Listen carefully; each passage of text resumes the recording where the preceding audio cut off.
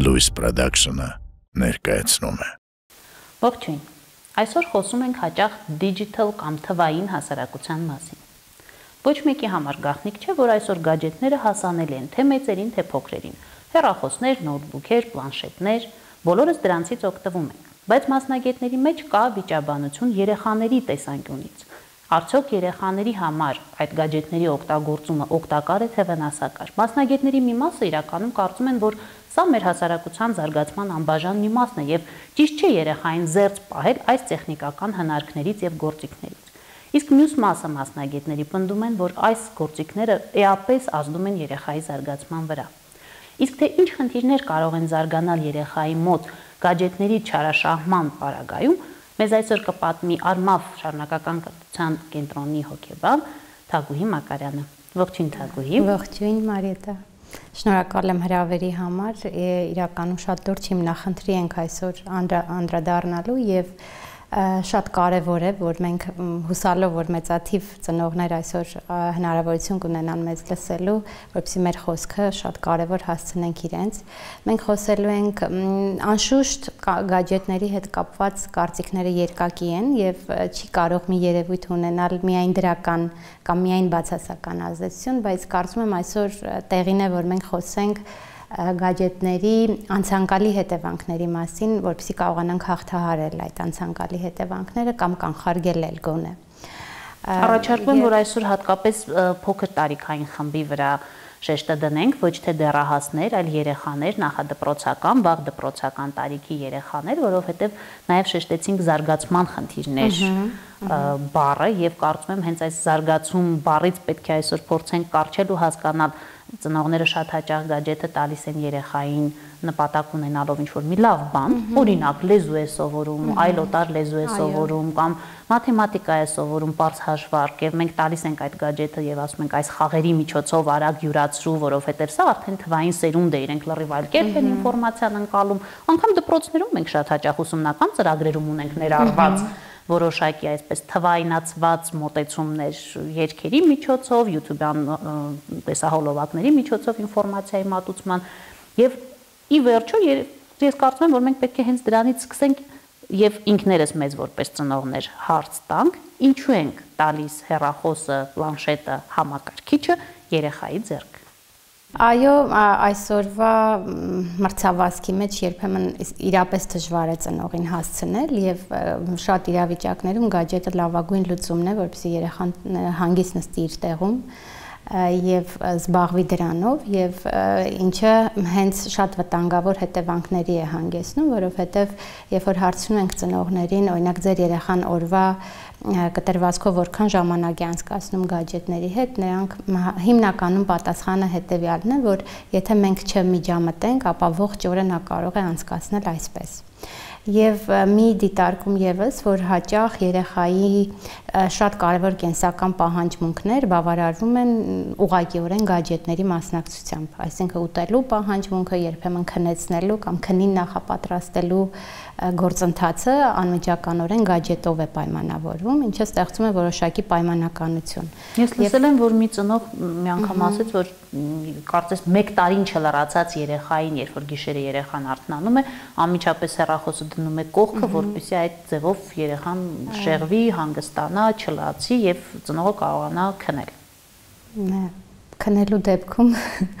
քնելու դեպքում կարծում եմ որ հիմնականում բոլորիս համար դա այնքան էլ ընդունելի տարբերակ չէ, բայց հաճախ ծնողը փորձում է այդպես անել, որպեսզի իր առօրյա հոգսերի մեջ կարողանա հասցնել։ Իսկ ինչ վերաբերվում է կերակրել գadget-ի օգնությամբ, իրականում դա շատ ընդունված փորձ է եւ ինչի պատճառով երեխան հաճախ չի հասկանում, թե ինչ է ուտում, սոված է արդյոք որ ուտում է, ինչ համունի կերակուրը, ով է կերակրողը, այսինքն այ այս process-ում կապը, հուզական կապը եւ իրական կապ չկա, ամբողջը վիրտուալի մեջ է տեղի ունենում եւ ինչը բնականաբար ոչ այնքան ընդունելի վարքագիծ է։ Լավ, բայց մեր տատիկներն էլ մեզ գիրք էին կարդում ուտելու ժամանակ Արդյոք մենք էլ էինք դուժում։ Գիտեք, կարծում եմ գիրք կարդալը էապես կտարբերվեր, որովհետև գիրքը իրականության որոշակի արտացոլում է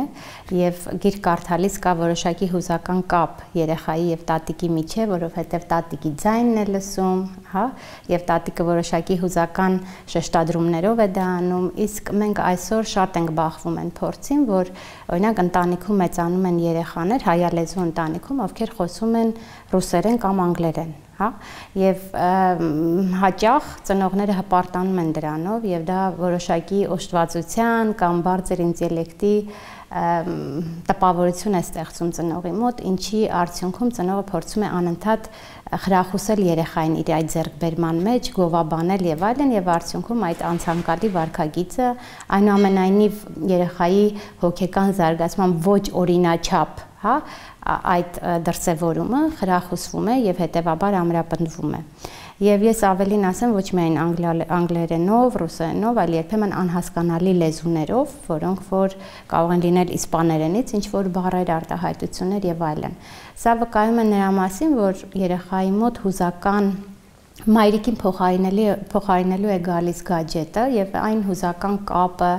որը որ պետք է ստեղծվի մայրիկի հետ իրական աշխարհում, դա տեղափոխվում է վիրտուալ աշխարհ եւ հաճախ մամաներ ասում են, երբ որ մենք ուզում ենք, որ երեխան մեզ արձագանքի, ամեն բան անում ենք, անունն ենք հնչեցնում եւ այլն, ինքը մեզ չի արձագանքում, բայց հենց ուզում ենք, որ անմիջապես արձագանքի, մենք սկսում ենք իր մուլտֆիլմի հնչյուններով կամ ինչ որ անհասկանալի արտահայտություններով նրան դիմել եւ նա անմիջապես մեզ արձագանքում է։ Այսինքն մենք այստեղ լուրջ խնդիր ունենք խոսքի որպես հաղորդակցման միջոց ձևավորելու եւ ճիշտ զարգացնելու, որովհետեւ ըստ էության երեխան ունի իրական աշխարհում իրական հարաբերություններ, որտեղ կարողանա ճիշտ հաղորդակցվել խոսքով։ Նրա հարաբերությունների դաշտը վիրտուալ աշխարհն է եւ ոչ իրական հերոսները, ոչ իրական կերպարները, երբեմն նաեւ անսեր որը որ եւս մեկ խնդիր է ստեղծում այսօր սեռային ինքնագիտակցության ձևավորման համար երեխաների մոտ եւ թերևս միգուցե ծնողներին նաեւ շփոթեցնում է այն փաստը, որ ի վերջո երեխան ունի միգուցե երեխան ունի խոսք, այսինքն կա բառապաշար, կա որոշակի կապակցվածություն, բայց հաճախ այդ խոսքը կարող է լինել շաբլոնային այսինքն կոնկրետ ֆրազաներ, կոնկրետ արտահայտություններ, որոնք նա ձեռք է բերել մուլտֆիլմից կամ ինչ որ համակարգչային խաղերից եւ երբեմն իրական կյանքում ոչ իմաստավորված ձևով երեխան փորձում է կիրառել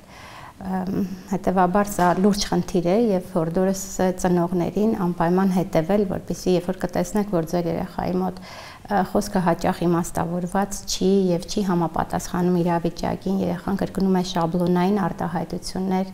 երեխան անհասկանալի հնչյուններով է ձեզ հետ հաղորդակցվում կամ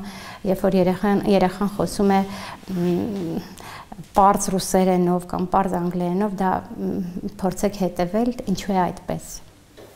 Եվ կարծում եմ ինքը շատ հաճախ իրականում ծնողի մոտ նաև կարող է շփոթություն առաջացնել զարգացման այլ խնդիրների հետ շփոթություն առաջացնել զարգացման այլ խնդիրներից։ Միգուցե այնուամենայնիվ այս իրավիճակներում մասնագետի խորհրդատվության կարիք կարծում եմ կա եւ մյուս ռիսկը, որը որ երեխայի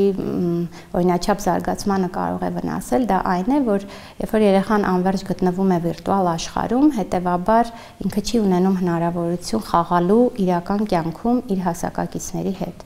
կամ սահմանափակվում է այն ժամանակահատվածը, որ երեխան կունենար հնարավորություն խաղալու իր ընկերների հետ։ Ինչը, այսպես ասած, չի նպաստում երեխայի խաղային գործունեության ձևավորմանը, խաղային հմտությունների ձևավորմանը եւ այսօր մենք շատ հաճախ կարող ենք տեսնել երեխաներ, ովքեր խաղում են ոչ թե իրար հետ, այլ երեխաներ, ովքեր խաղում են իրար կողքի Եվ երբ որ մենք հաճախ ծնողներին հարցում ենք ինչպես է արձագանքում երեխան հասակակիցներին, նրանք հիմնականում ասում են, որ շատ է ուրախանում եւ այլն եւ այլն եւ նույն երեխային դիտարկելիս դու տեսնում ես, այո, միգուցե ուրախանում է, բայց երեխան չունի համատեղ խաղի հմտություններ։ Իսկ մենք գիտենք, որ մասնավորապես նախադպրոցական տարիքում համենայն դեպս խաղային գործունեությունը առաջատար է, եւ խաղային գործունեության միջոցով երեխան ճանաչում է աշխարհը ճանաչում է մարդկային փոխհարաբերությունները, որոշակի սոցիալական դերերի է ծանոթանում, որոշակի սոցիալական դերերի ներկայացվող գործառույթներին է ծանոթանում, սովորում է ընդօրինակել եւ այլն։ Բնականաբար վիրտուալ աշխարհում անverջ լինելը չի կարող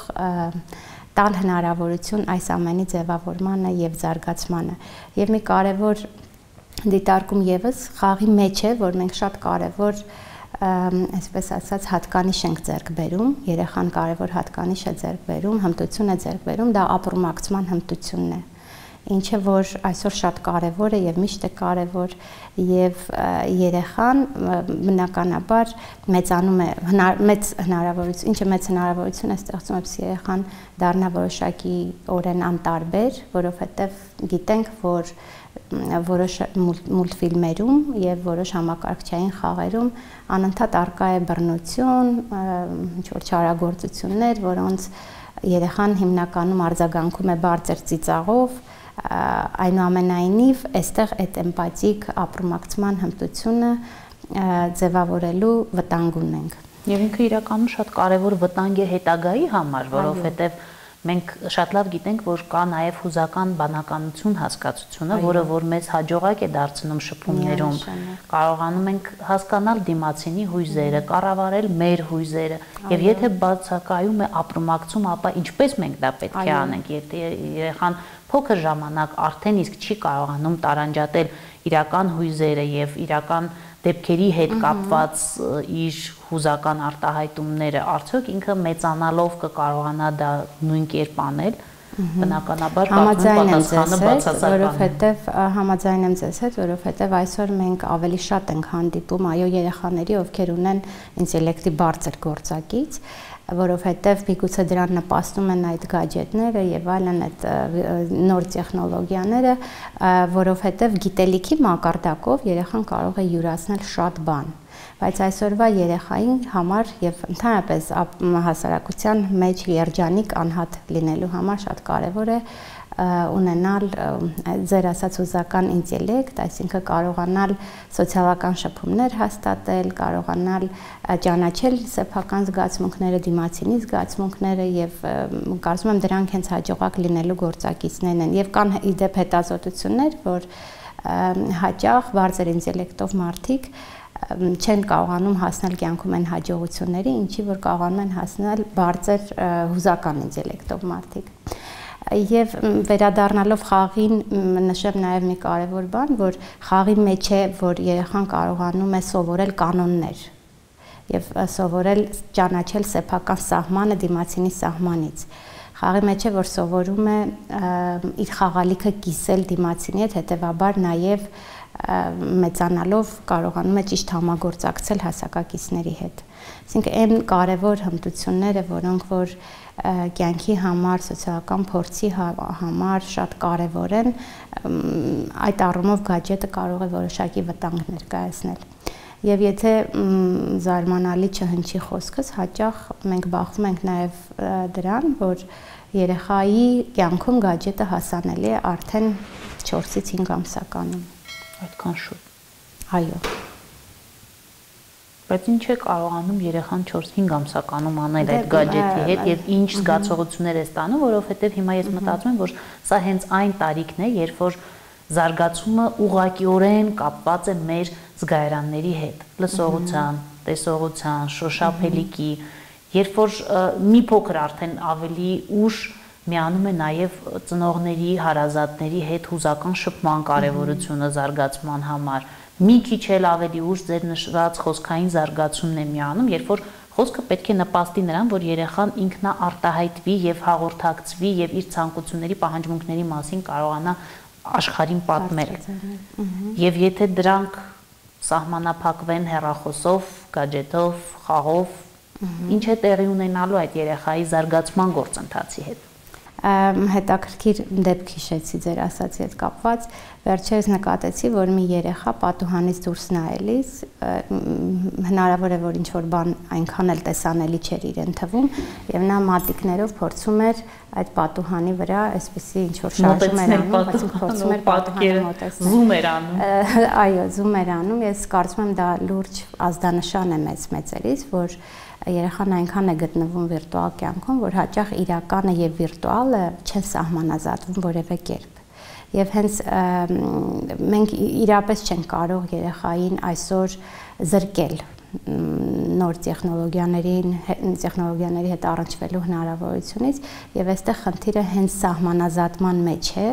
ինչպես տարանջատել իրականությունը երևակայականից եւ ինչպես բարձրացնել ընտրողականության ընտրողականությունը երեխաների մոտ, այսինքն որ ինֆորմացիայի հանդեպ, ինչի հանդեպ լինել զգայունակ եւ ինչի հանդեպ լինել անտարբեր, որը կարևորել ըստ գլխավորի եւ որ համարել երկրորդական։ Լավ, իսկ երբ ծնողը հասկանա, որ գadget-ի չարաշահում կա, քանի որ ասացինք, որ բացարձակապես զերծ պահել գուցե հնարավոր չէ, վերջում հավանաբար նաև կտանք այն ժամանակային հատվածը, որը որ տարբեր տարիքային խմբի երեխաներ կարող են օգտվել գadget-ներից, բայց չենք կարող զրկել դա հասկացանք, բայց երբ ենք հասկանում, որ այստեղ արդեն կա վտանգ, այ երեխան արդեն իրոք իրականությունից կտրվում է, ինչպես որ ասացիք, զում է անում պատուհանը։ Գիտեք, դուք երևի թե խոսում եք շատ հիմա ընդունված է դրան այսպես ասել, համակարգչային կախվածություն, ինչը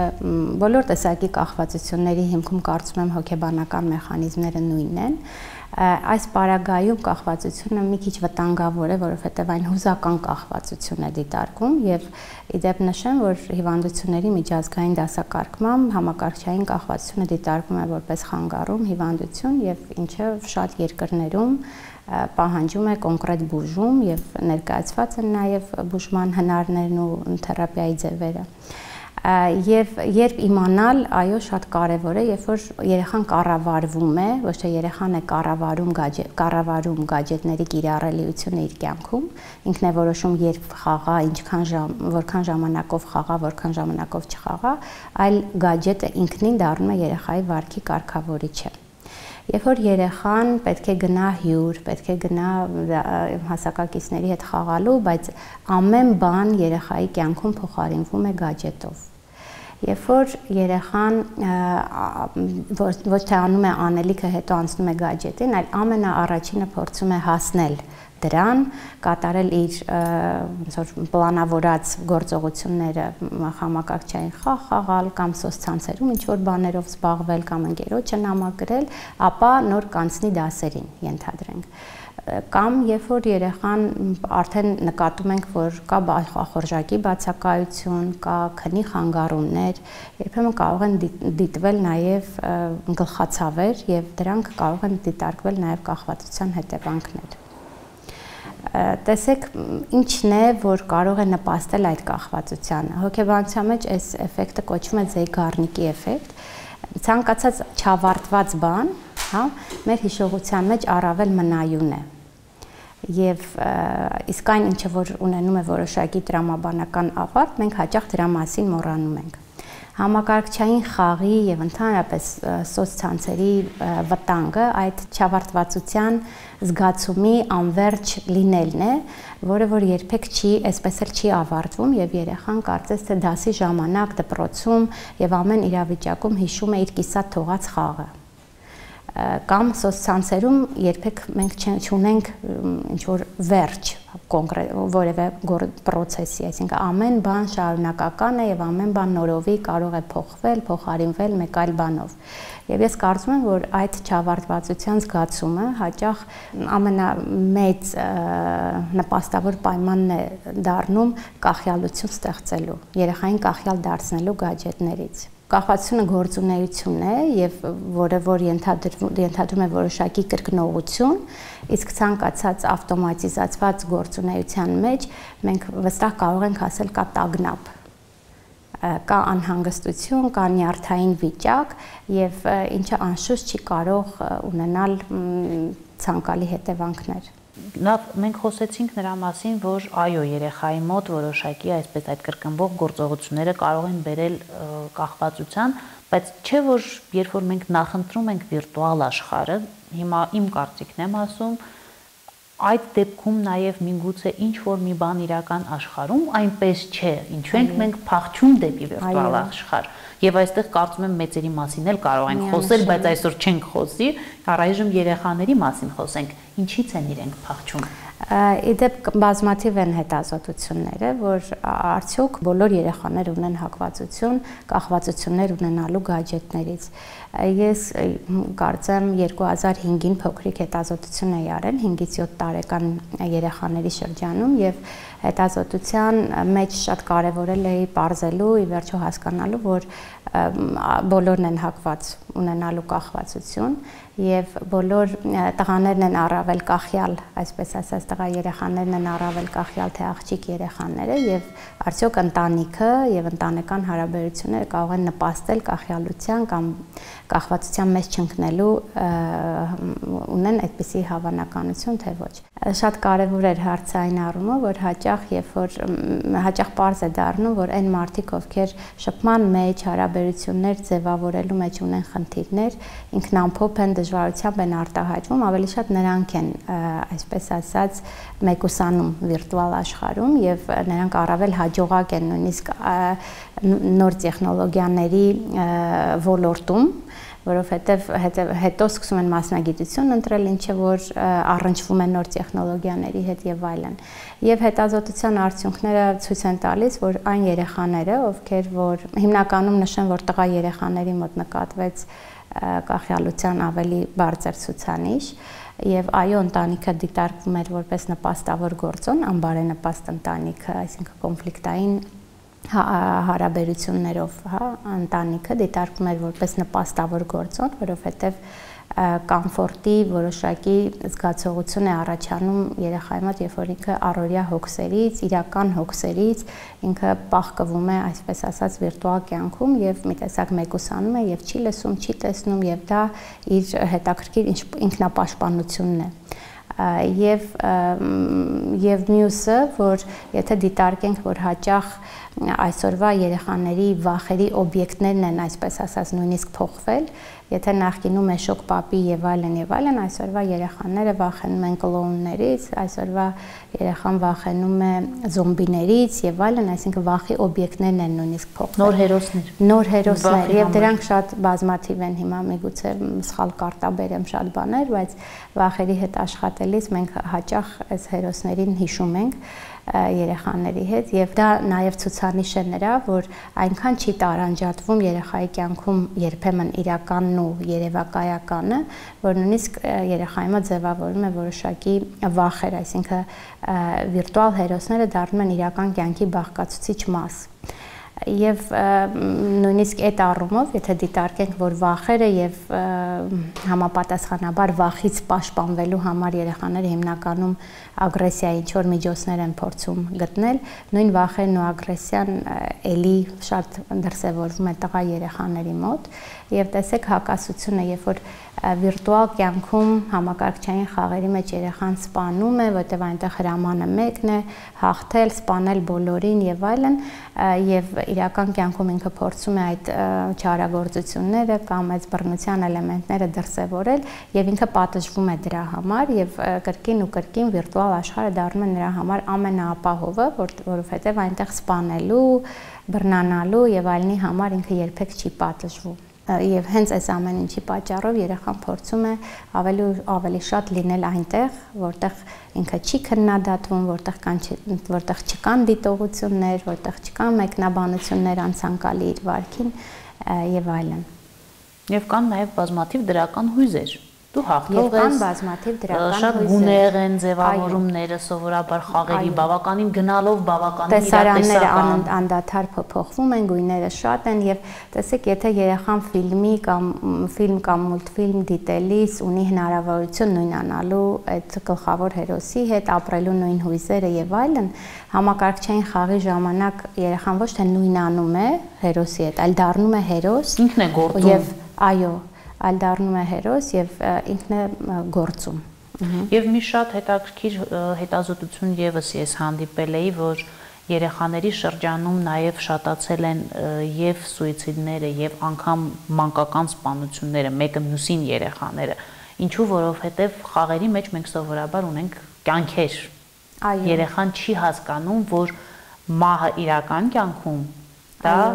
մեկ անգամ է լինում Այո։ Իրեն թվում է, որ այ ինչպես խաղում դու պարտվեցիր մահացար քո հերոսը մահացավ, դու կարող ես նորից ու նորից այլ կյանքերում վերականգնվել։ Միանշանակ շատ արժեքներ են, այսպես ասած, վտանգի ենթարկվում երեխայի կյանքում, նույն կյանքի եւ մահվան հետ կապված որոշակի դիրքորոշումներ սկսում են խարխլվել, որովհետեւ նույնիսկ մենք գիտենք, օրինակ կար այսպիսի խաղ Մարիո, մի կյանքի ես ունեմ, կյանքս վերջացավ եւ այլն, սպանվեց նորից նորից, այսինքն այս ամեն ինչի արդյունքում ձևավորվում են ոչ adekvat պատկերացումներ մահվան եւ կյանքի երևույթների հանդեպ։ Լավ, բայց մենք այնուամենայնիվ չենք կարող չխոստովանել, որ իսկապես մեր հասարակությունը շարժվում է դեպի թվայնացում։ Անխուսափելիորեն մենք չենք կարող հիմա ողորթեգրել այսպես այն չտեսնող, չլսող կապիկների այդ երեք պատկերների տարբերակը եւ ասել չենք լսում, չենք տեսնում եւ չենք խոսում դրա մասին։ Այո, դա կա, դա փաստ է։ Մենք հասկանում ենք, որ այսօր անգամ ուսումնական ծրագրերը հատկապես այսպես առաջադեմ դպրոցներում արդեն կապվում են գadgetների հետ։ Արդեն երեխաները հանձնարարություններ են ստանում ինչ որ հոլովակներ դիտելու, ինչ որ վարժություններ անելու այդ տիրույթում, վիրտուալ թվային տիրույթում։ Ա Կարող ենք արդյոք մենք այսօր ծնողներին այսպես հստակ գործնական խորհուրդներ տալ, ինչպես սահմանափակել այն ժամանակը, որը երեխան անցկացնում է գadgetների հետ եւ ինչպես տարբերակել սա զուտ տեղեկատվություն ստանալու ուսումնական գործընթացին նպաստելու համար է, թե սա արդեն անցնում է այն սահմանը, որտեղ երեխան իսկապես կորցնում է կապը իրականության հետ եւ ունենում է զարգացման որոշակի խնդիրներ, հատկապես որ մենք վաղ տարիքային խմբի մասին էինք խոսում, որտեղ երեխան ինքը դեռ այդքան ակտիվ որոշում կայացնողի դերում չէ եւ գիտակցական մակարդակը, որ այ հիմա պետք է, չգիտեմ, դասերս անեմ, հաստատ նախադպրոցական տարիքում դա դեռ չկա ձևավորված չի երեխայի մեջ։ Այո, եւ երևի հենց մեր հանդիպման բուն նպատակը դա է, ինչպես իրազեկենք ծնողներին, ինչպես կոնկրետ գործնական խորհուրդներ տանք, ինչպես կազմակերպել երեխայի առօրյան այդ հատվածում եւ մոտեցումները շատ ծայրահեղ են եւ երկակի։ Մի կողմից ծնողները փորձում են զրկել երեխային ընդհանրապես զրկել գadgetներից եւ կարծում եմ բոլորս վստահ ենք, որ այս իրավիճակում դա անարդյունավետ է, որովհետեւ դա առաջացնում է առավել ֆիքսվածություն, կենտրոնացվածություն երևույթի վրա եւ մյուս ծայրահեղությունն էլ ամենաթողությունն է երևի թե մենք պիտի օգնենք եւ հորդորենք ծնողներին, որպեսզի իրենք կարողանան երեխայի առօրյան ճիշտ կազմակերպել եւ ճիշտ պլանավորել, օրինակ խմբակների խմբ տարբեր խմբակներ երեխայի հաճախելը խրախուսելով եւ երեխային զբաղացնելով, հա, տարբեր արդյունավետ գործողությունների, գործունեությունների մեջ, որովհետեւ 21-րդ դարի կարևորագույն խնդիրներից հենց ձանձրույթի զգացումն է եւ ինքնա սեփական ժամանակը տնորինելու, կազմակերպելու խնդիրը այսօրվա երեխան ունի եւ նաեւ այդ փորձառությունը այսօրվա երեխան չունի, որովհետեւ գadgetները հենց այդ առումով են շատ վտանգավոր, որովհետեւ սահմանափակում են երեխայի ստեղծագործականությունը, եւ մտածելու, երևակայելու այդ հմտությունը։ Հա, ի վերջո մենք երբ որ առաջ իջնում էինք բակ ու պարապ էինք մնում, մի փայտ էինք վերցնում, այդ փայտը եւ ձի էր դառնում, եւ թուր էր դառնում, եւ սուր էր դառնում, եւ կախարդական փայտիկ էր դառնում, եւ մեր երևակայությունը իսկապես այնտեղ աշխատում էր։ Այսինքն սովորեցնել մեր երեխային, ինչ սովորեցնենք մեր երեխաներին ինչպես տնորինել ժամանակը, եւ նրանց ամենափոքրիկ ստեղծագործական մոտեցում թղթից ինչ որ բաներ պատրաստել եւ ամենափոքրիկ հակումները կամ հետաքրքրությունները անպայմանորեն խրախուսել, որովհետև դրանով կնպաստենք դրանց հետագա զարգացմանը եւ որքանով որ ցավալի է, այսօր ծնողները հաճախ իրենց պատժաձևերը եւ խրախուսանքի ձևերի մեջ ունեն որոշակի փոփոխություններ, որոնք որ նոր ժամանակների հետ են համահունչ օրինակ երբ որ երեխային ասում ես որ երբ դու քեզ դժբախտ կհամարես, պատասխանը հնչում է այսպես, երբ որ ես ինձ զրկեն հեռախոսից կամ երբ որ ինձ զրկեն իմ սիրելի համակարգչային խաղը խաղալուց եւ համապատասխանաբար ես երջանիկ եմ կամ երեխաները երջանիկ են, երբ որ իրենք ունեն հեռախոս, երբ որ իրենք ունեն իրենց սիրելի խաղը խաղալու հնարավորությունը եւ ծնողներն էլ պատճում են երեխային, եթե դու չառնես դասերը կզրկվես պլանշետից, երբ որ դու երբ որ անես դասերը կստանաս պլանշետ, այսինքն այս խրախուսանքի ձևերը եւ պատժելու ձևերը մտել են մեր կյանք այսօր։ Ես փաստորեն շատ հնացած ծնող եմ, իմ երեխաների պատիժը բակ չիջնելն է։ Ահա Ուրեմն ձեր երեխաները դեռևս չունեն եւ հուսանք չեն ունենա համակարգչային կախվածություն եւ եթե ավելի sense փորձեն քայլերով ներկայացնել, որոնք են ուրեմն այն ճանապարհները, որով մենք կարող ենք զերծ պահել երեխաներին վտանգվելուց, գadgetների կամ գadgetներից կախվածություն ունենալուց, քայլ ուրեմն 1 լսնել երեխաների առօրյան բազմաթիվ հաճելի իրադարձություններով, հուզական ամուր կապ ստեղծել երեխաների հետ, նպաստել նրանց խմբակների տարբեր խմբակներ հաճախելիությանը, եւ գիտակցել ընդհանրապես անցանկալի հետևանքները եւ երեխայի գիտակցությանը բերել անցանկալի հետևանքների հետևանքները, որոնք կարող են լինել եւ ցերևս փոքր երեխաների դեպքում դա ակտուալ չի եւ հստակ տարանջատել, օգնել երեխային տարանջատել, որ սա իրականն է, սա երևակայականն է եւ ինչպես դա անել, դա հնարավոր է аնել, երբ որ մենք տեսնում ենք, որ երեխայի մոտ այնուամենայնիվ կա շատ մեծ ներգրավվածություն եւ հուզականություն այս ամեն ինչի հանդեպ, մենք ուղղակի ծնողը որպեսզի չկորցնի հուզական կապը սեփական երեխայի հետ, այսինքն չնպաստի ընդհանրապես իրականությունից կտրվելուն, տարբերակ է, որ նա կարող է նստել երեխայի կողքին, միասին նայել այդ ենթադրենք մուլտֆիլմը, որը զոմբիների մասին է կամ որը կլոունի մասին է, իր հետ միասին նայելով, համապատասխան մեկնաբանություններ անելով եւ շեշտերը դնելով, որ սա այտես այն ամեն ինչ որ մենք տեսնում ենք, իրականում ինչ որ մեկի կողմից է հորինված եւ դրանք իրական չեն, կամ արի նայենք ու միասին որոշենք, արդյոք այս ամեն ինչը կարող է մեր կյանքում տեղի ունենալ։ Այսինքն հստակ սահմանագծել իրականը եւ վիրտուալը։ Եվ նույնիսկ եթե օրինակ երեխան վախեր ունի զոմբիներից, շատ ցանկալի տարբերակ է, երբ որ երեխան նայեցին մուլտֆիլմը, հետո մամա ու բալի կարող են խաղալ զոմբի-զոմբի խաղ, այսինքն երեխան կունենա հնարավորություն այս խաղի մեջ նախ ամփոփելու են բոլոր բացասական հույզերը, են վախերը, են բոլոր չհասկացված մասերը իր տեսածի եւ լսածի եւ հետո դա հետաքրքիր հուզական շփում է մայրիկի հետ, մայրիկի ով կիսում է իր հետաքրքրությունները։ Եվ այո տարբերակ է նաև որ արի մի քիչ նայենք ու հետո գնանք միասին սա անենք որովհետև երեխային ինչ որ իրական կյանքում տարբեր գործողությունների մեջ, տարբեր գործունեությունների մեջ ներգրավելը միանշանակ կարող է կրճատել այն ժամանակահատվածը, որը որ երեխան կարող է անցկасնել գadgetներում։ Դրա համար, երբ որ մենք հաճախ ֆիքսված փորձում ենք երեխային զերծ պահել այդ ամենից, բնականաբար երեխայի մոտ էլ առաջանում է որոշակի ֆիքսվածություն այստեղ վերահսկողականության հարցը շատ կարելի է կարևորել նույնիսկ եթե դուք նկատում եք որ ձեր երեխան ունի որոշակի հետաքրքրվածություն այնուամենայնիվ ցանկալի է վերահսկել ինչ է երեխան նայում եւ ինչպես է այդ այդ ամենը ազդում իր հոգեկանի վրա եւ դա կարելի է անել տարբեր հարցերով ելին իր հետ համատեղ դիտումներ ունենալով եւ ուղղակի միասին քննարկելով այն ամենը, ինչ նա տեսել է։ Եվ ելի մի կարևոր եմ համարում մեդիագրագիտության հարցը եւ կարծում եմ բոլոր տարիքներում դա հնարավոր է կազմակերպել եւ համապատասխան մասնագետի խորհրդատվություն ստանալ եւ օգնել երեխային իր տարիքային յուրաքանչյուր փուլում տարբերակել ինչն է իր համար գլխավոր եւ ինչն է իր համար երկրորդական Այսինքն մեծածավալ ինֆորմացիայի մեջ ես հասկանում եմ, որ բավականին դժվար է զտել այդ ինֆորմացիան ըստ կարևորության։ Այնուամենայնիվ մենք մեծահասակներս մեր հետաքրքրության հետաքրքրությունների աշխարհով մենք ինքնին դառնում ենք օրինակ մեր երեխաների համար։ Այսինքն եթե երեխան տեսնում է մայ ընտանիք, որտեղ բոլորն են պլանշետների կամ հեռախոսների կամ համակարգչի մեջ, բնականաբար սա վարք է, որը որ երեխայի կողմից յուրացվում է, եւ եթե մենք ուզում ենք սահմանափակել երեխայի այդ այդ աշխարհում լինելը, հետեւաբար մենք նրա տեսադաշտից փորձենք հնարավորինս այդ հեռախոսները, գadgetները հեռու պահել որովհետև այլ բան է, որ նա իր տեսադաշտում չի տեսնում եւ չի հիշում դրա գոյության մասին, կամ որովհետև տարված է ինչ որ հետաքրքիր խաղով կամ ինչ որ հետաքրքիր շփումով եւ այլ բան է, երբ որ անընդհատ երեխայի տեսադաշտում դա կա